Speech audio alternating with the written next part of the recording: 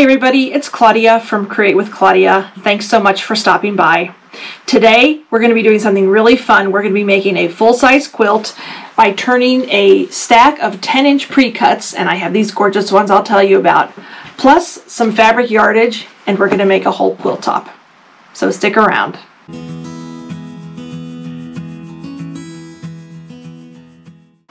So if you subscribe to my channel or watch a lot of my videos, you'll know that I am an Island Batik Ambassador, which has been such an honor, and this is my second year doing the project.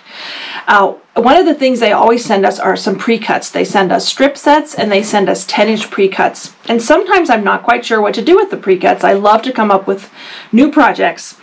And this one, I just, as soon as I saw this pre-cut, these are 10-inch pre-cuts. Um, it's a stack of 10-inch pre-cuts. They are, it's called Woodcut Blossoms. It was designed by Kathy Engle for Heidi Pridemore of the Whimsical Workshop. And I'm going to show you some pictures because this is absolutely gorgeous. I'm going to shake it at the camera. It is so pretty. This whole line of fabric, the purples and the blues, and there's some white and creams in there. And I knew right away that I wanted to make a quilt with that. And I actually have somebody in mind that I'm going to be giving this to. So what I'm doing today, and you will see, is a entire quilt. We're going to be making a whole quilt. I'll, I'll be skipping along ahead in quite a few sections. But basically all you need is one of those stacks of 10 inch stacks of uh, fabric, any fabrics you want. And I know, let's face it, let's be honest, everybody, uh, when you go to the quilt store, sometimes it's really hard to resist those. Uh, and I, my guess is you, like me, probably have one or two sitting on your shelf somewhere. But uh, like I said, this I had to show off this fabric. And then just a few yards of fabric, of background fabric, and I'm going to be using, I'm going to be using sort of off-white squares of different types, sort of a low volume background, and we will be making a gorgeous quilt. So uh, let me adjust the camera a little bit. I'm going to show you what we're going to be doing, and believe me, this is a really easy quilt pattern to make too. Okay, so I'm back. A couple days have elapsed in between when I uh, filmed the introduction and this part but I wanted to give you all of the measurements. Today we're going to be making a 72 by 72 inch quilt, which is a nice big size. It's a nice large lap size, even a double, uh, excuse me, a twin size, um, but it's square. You need 64 blocks in total, and the blocks unfinished are going to measure nine and a half inches. So when they're finished, they're nine inches. And they are all half square triangles.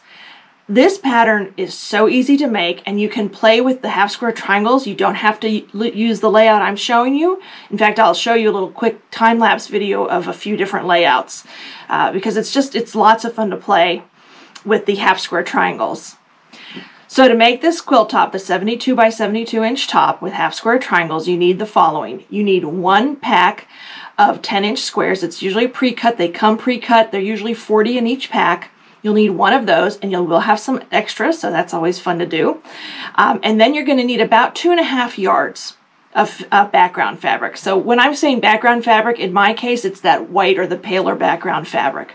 So what worked out really well for me was my pre-cuts actually had some whites in them. So I could use those, pull those out of there, and I still had enough to make this entire top. And that's the Woodcut Blossoms uh, pack that I got from Island Batik just beautiful, all those purples. So I had a lot of fun working with this one. For my background fabrics, I have a lot of scraps of batiks. So I use those first and I cut them all into 10 inch squares. So you're gonna need the following of the sort of darker, I, am going to say darker fabric, but it isn't necessarily darker fabric. I'm going to say the focal fabric. Why don't we say it that way? In my case, all those purples and blues. You need, you'll need 10 inch squares and you need 32 of them. Okay? And then of the background fabric, in my case that light, the white or whatever you want to use, I need 32 10 inch squares. So you're going to cut those, well the, the pre-cuts are cut, so that makes it very easy. But the two and a half yards you're going to need to cut into squares that are 10 inches.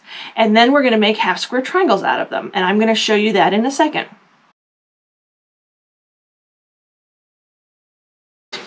All right, so you have your 32 squares of your focal or your purple or whatever color you're using fabrics, your various fabrics from that pre-cut pack, and then you have your background fabrics. Now, what you want to do is take the lighter of the two squares of the two piles. In my case, I'm using the, the background fabric. You're going to draw a diagonal line. Basically, what we're doing with all of these squares, just pretend there's 32 of each in these piles, is we're going to be pairing them up a background with a focal fabric and we're making half square triangles. So I'm going to show you how to make one of them and then you're going to pair up all 32 of those squares and you're going to end up, and I'll show you because you're going to split those in half, you're going to end up with 64 blocks. So let's get started. So on the lighter of the two squares, you're going to draw a diagonal line from corner to corner. And I'm just going to use a pencil. I'll try to do it dark so you can see it. Normally I would not use a pencil. I would use a water-soluble marker. And I also wouldn't make it that dark. But there you can see, there's my, my line. Now this is my sewing guide. And now you're going to put these fabrics right sides together, line them up so they're nice and even. Because this is the tricky part and it's only tricky normally if you watch my videos you know when I make half square triangles I like a lot of wiggle room in this case I wanted a nine inch finished block so you want to be real precise with your sewing here. What you're going to do is you are going to sew a quarter inch on the right, on both, down both sides of that line. So there's your sewing guide. And you're going to take your sewing machine and you're going to sew a quarter inch down this side and a quarter inch down this side. You definitely want to be careful with that um, you do not have a lot of wiggle room when we trim these down. So you want to make sure you, you sew that really, try to sew that really accurately. So I'm going to do that really quickly and then I'm going to show you what it looks like.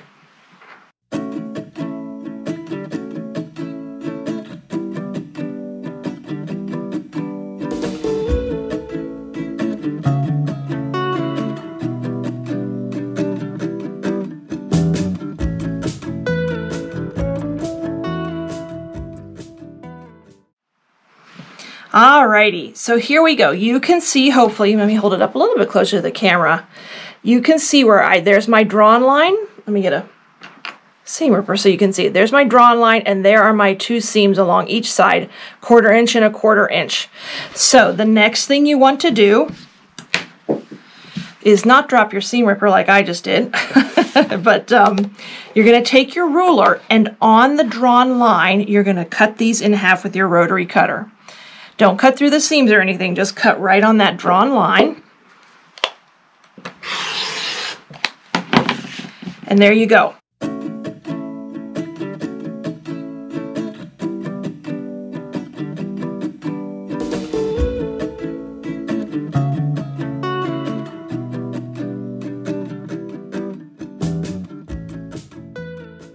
You still have a little bit to go because these aren't quite the right size that we want. See how pretty they are? So there's your half square triangle. Now, what I did is I already did most of these and I chain pieced them because it goes it makes really fast sewing. You'd be surprised how quickly these go together. So now what I'm going to do is I'm going to go ahead and take these over to my pressing service and in my case for all 64 half square triangles because you're going to have 64 of these once you're done after you've split them is you're going to press I press to the dark side.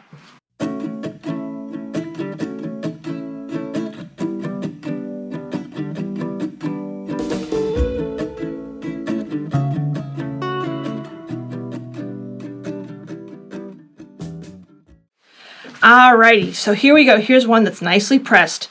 It's not quite done yet. It's not quite nine and a half inches. It's a little bit larger, so we need to trim it down. So you want your nice big square ruler. I can't recommend these big ones enough. This one's 15 inches square. And, you know, I love this ruler. it's, uh, you, if you've watched my videos, you know I use it a lot. But you want it that it has a diagonal line. The first thing we're going to do is even off one edge. Whoops, you're going to line up that diagonal line on your ruler with your diagonal seam and you're going to go as far as you can over to this corner because you're going to trim that really carefully and you want to give yourself a lot of room. You can see it is almost nine and a half inches. If you look here, it actually is, wow, I'm kind of surprised. Usually it's a little bit off. Um, surprised myself there. Let me just see how much more I can trim off a little bit more. There we go. That just gives me... See how tight it is? You really got to watch your sewing on this. And now you're going to trim off this edge.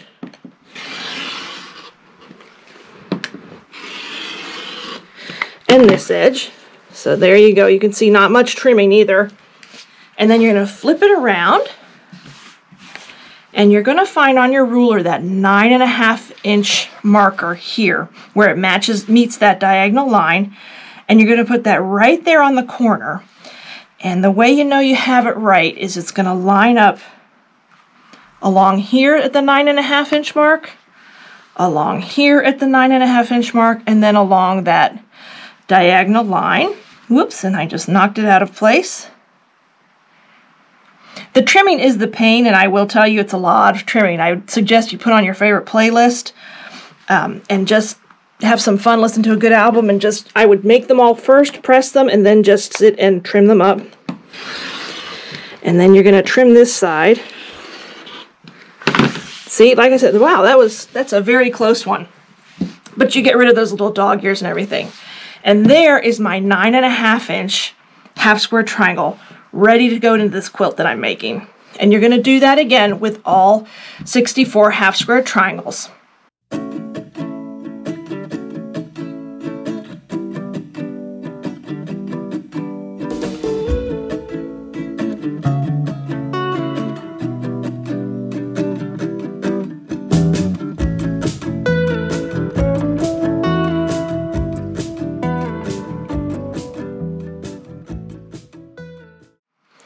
So I have all my half square triangles done already. In fact, I've had them all trimmed. I even have them up on my design wall. So the next thing I'm going to show you is a little fast forward of how I played with them on my design wall. If you don't have a design wall, it's no problem. Just lay them out on a big surface. You do need a big surface for this. And you can play with them every which way you want. I think I laid it out three or four different. I think the first one is sort of an abstract layout. And then I made them all one direction, which I really liked. And then I played around with a little bit and I ended up with the star in the middle. You'll see how it looks. So take a look at this. It's a sort of a quick uh, time lapse of how I did that.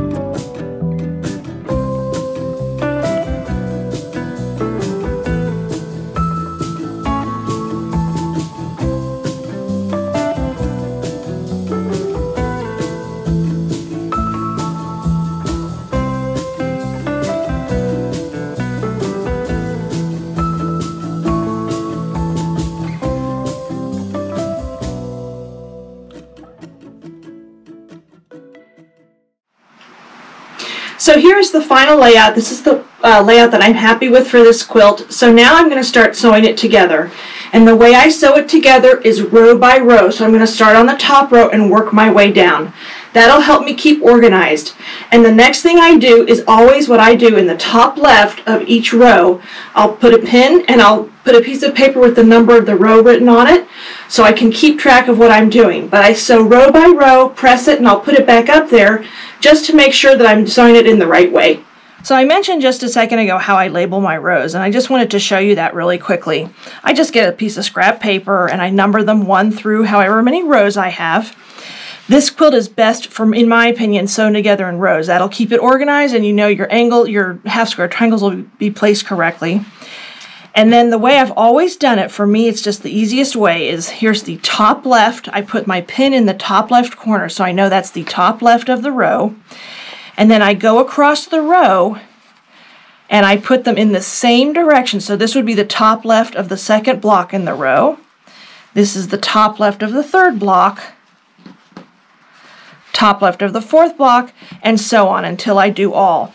And then what I do is I make a really careful um, sewing strategy, I'll sew the first two together and you can kind of see how they, they look and that's right. Sew those together, right sides together using a quarter inch seam allowance. And then for the next pair, I will put in another pin just so I know that's the left because it's really easy. Let's say you step away to get lunch or whatever and somebody comes in and plays with them or whatever, you know, or you have to step away for a couple days, you might forget where you are. That's why I like to put my pin in the top left. whatever way you organize is best for you. And then what I do is after I show, sew these pairs together, you'll see, then I know that this is the second one and it'll match up. Let's say these are sewn. It'll match up with this one and that'll still be my top left. So you can sort of see where that's coming together. So that's how I stay organized when I sew my rows together. And I sew each row individually and um, then I'll press them. I will probably press each row to one side. So like the top row I'll press to the left, second row I'll press to the right. So now I'm going to go ahead and have some fun and start sewing these rows. And I will do them all in one stretch just to, to knock them out. Um, that's how I like to do it. It just makes it quick and easy. This is a very easy quilt to sew together. I'm back. I got my quilt back from my long arm quilter. I will show you a couple snippets close up just so you can see her beautiful work.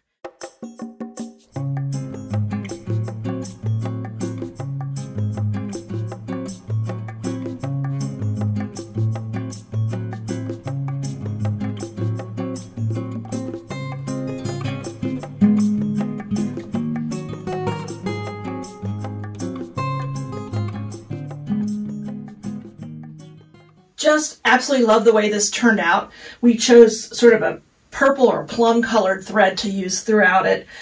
This is my super easy quilt. I hope you give it a try. It's one stack of 10 inch pre-cuts. You can get it at the, your local quilt shop.